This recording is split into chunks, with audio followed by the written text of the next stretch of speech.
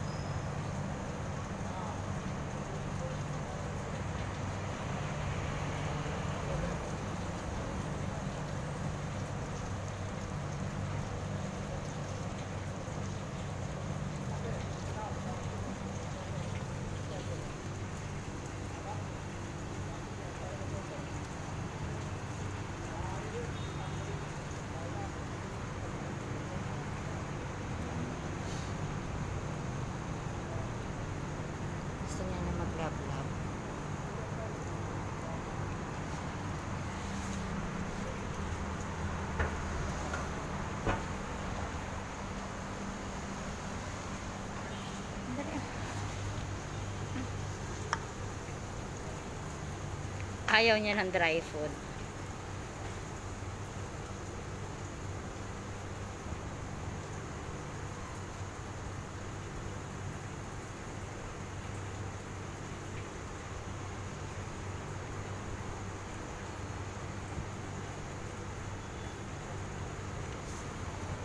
Ayaw mo ng wet food lang? Hmm?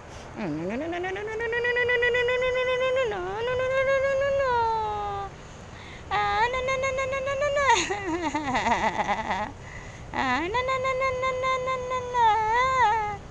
Ayaw mo na? Ayaw mo? Ay, sus, oy. Hmm? Oh, sus, ang lawong, oh. Hmm? Hmm. Wala yung kapatid niya guys. May kapatid siya ige dito eh. Siya na lang mag-isa. One week na. Wala na yung kapatid niya. Hindi ko alam kung nasaan.